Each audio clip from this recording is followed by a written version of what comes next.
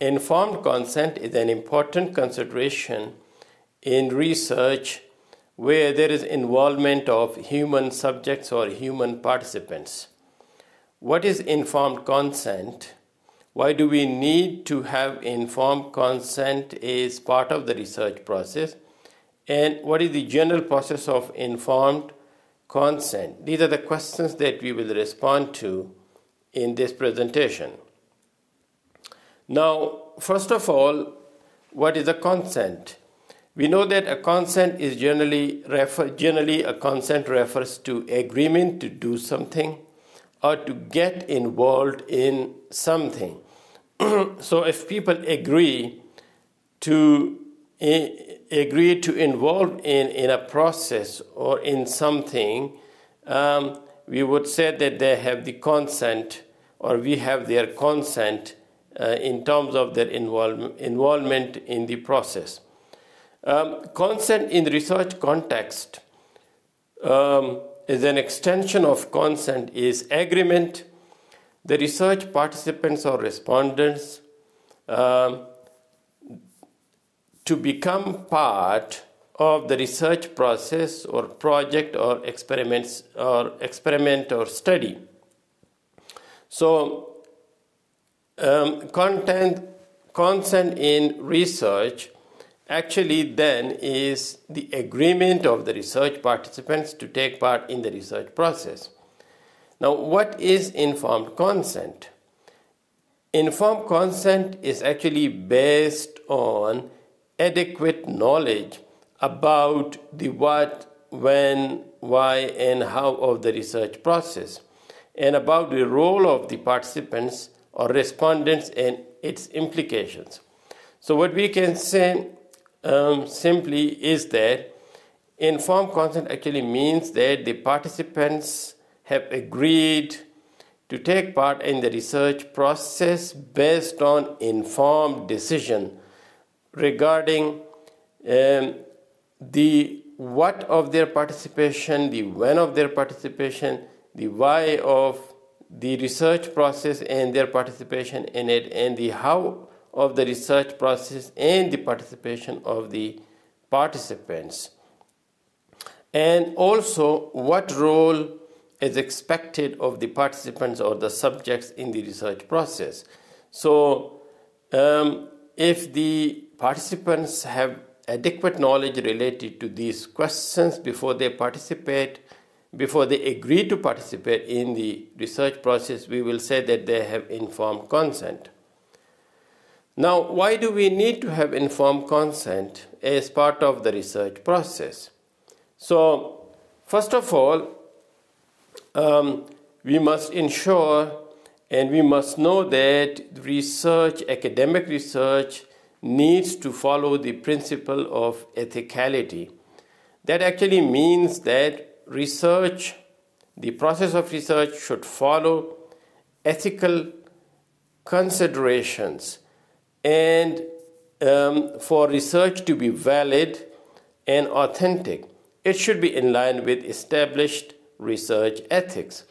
And, and, and informed consent is actually consent is actually a part of the research ethics process.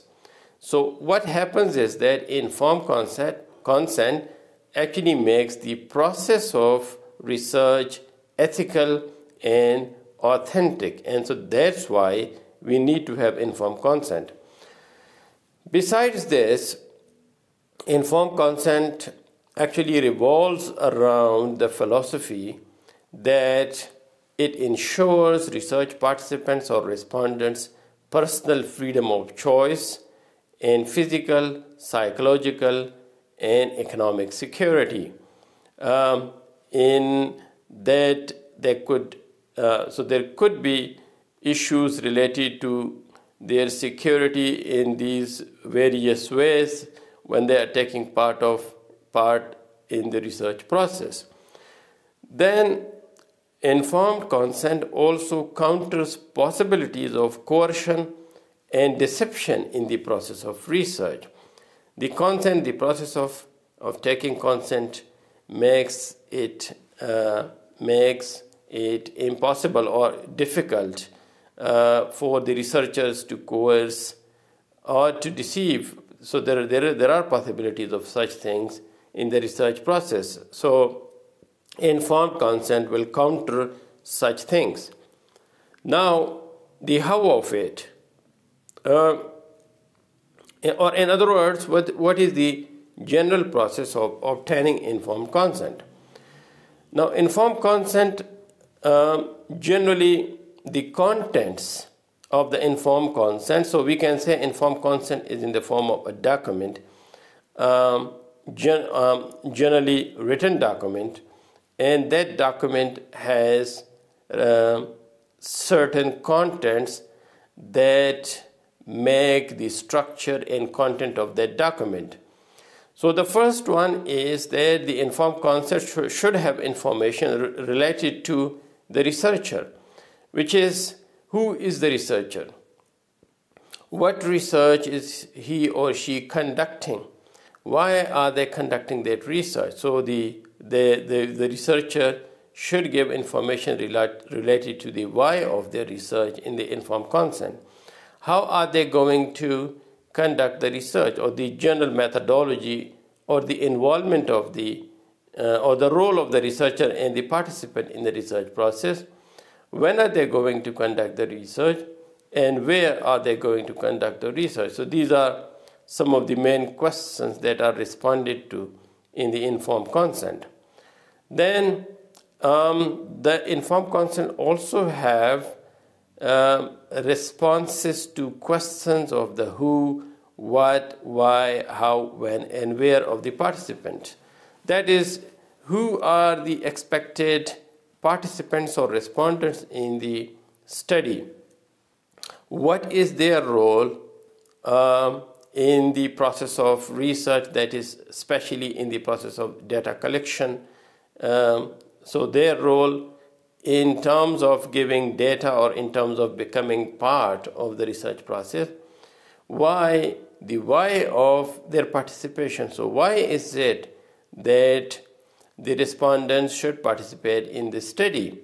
Um, the how of it, so how or what will be the nature of the participation of the participants, the when of it, when is it expected from them to take part in the study, and also the where of it. So these are the general questions that are responded to in the informed consent. And both the researcher and the participants need to know about these. Then the data protection, safety or sensitivity of data. The informed consent also have assurances related to the how the data will be protected, how will the safety of the data will be ensured, and what is the level of sensitivity of the data and what will be what steps will be taken to ensure the safety of sensitive data.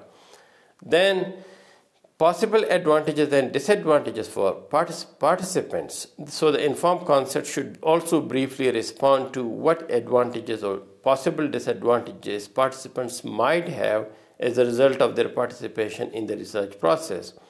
Then the informed consent must uh, uh, must describe that the, the participation of the research participants is voluntary so there is no force or compulsion and so the participants uh, always have the right to withdraw from the research process at any time or at any stage and then confidentiality and anonymity. The informed consent also has um, sections that assure the respondents or the participants the confidentiality of their data and in some cases anonymity of so they so the assure the, the assurance that the participants will remain anonymous and their personal data will not be shared with third party now the last part is of this is like um, the contents of the informed consent generally could be both in written form or oral depends on situations and possibilities. So generally it's better to have written informed consent, but in some cases, uh, written informed consent might not be possible uh, for a number of reasons, including the reluctance on the part of the participants to, uh, to sign um, a written agreement or consent. So, in that case, this could be done orally as well. Um, so, the format, whether it's uh, written or oral, will depend on possibilities or situations. Uh, that will vary from research context to research context.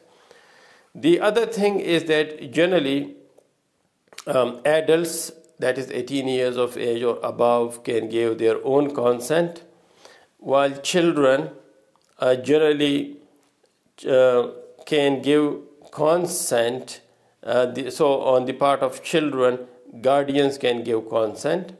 Uh, children who range up to the age of six years, it is generally essential for guardians to give assent, uh, uh, consent on their part, such as parents or teachers or, or, uh, or other guardians. And for children from age 7 to 17, it is important that the guardians give their consent, plus that consent is then assented by uh, or agreed to by children as well. The when of it is so, when should uh, the researchers obtain the informed consent? Well, this, is, this generally should be before the data collection so that um, the respondents are given sufficient time to understand the what, why, and how of their participation. And lastly, the form, as I said earlier, uh, could be oral or written, uh, and also there are consents that could be longer and shorter.